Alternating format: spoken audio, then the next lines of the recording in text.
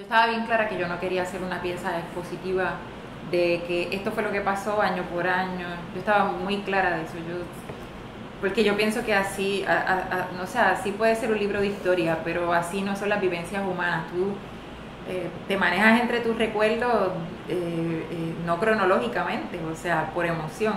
Y yo traté de trabajarlo como desde, desde esa misma manera.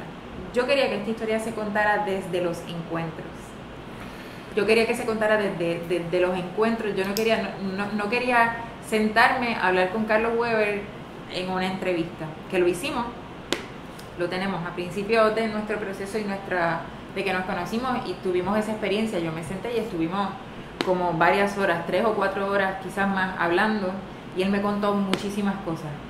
Pero yo no quería que el espectador lo viviera desde ahí, desde una persona que yo entrevisto y se acabó. Yo quería que se diera como que en otro contexto y más entre los encuentros. A mí me gusta porque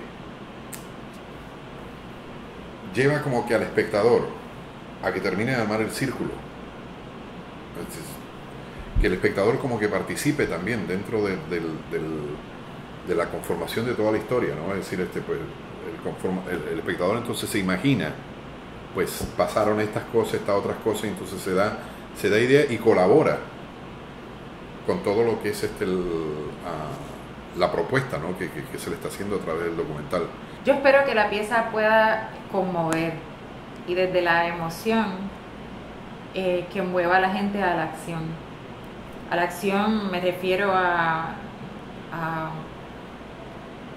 pues a ser solidario, a entender lo que pasa cuando, cuando, cuando chocan ideologías, a lo que puede llegar, ¿no?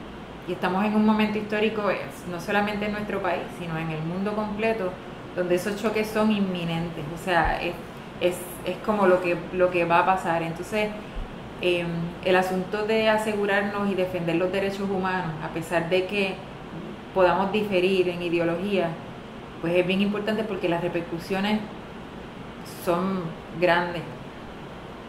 Eh, y esto no es retórico, esto es real.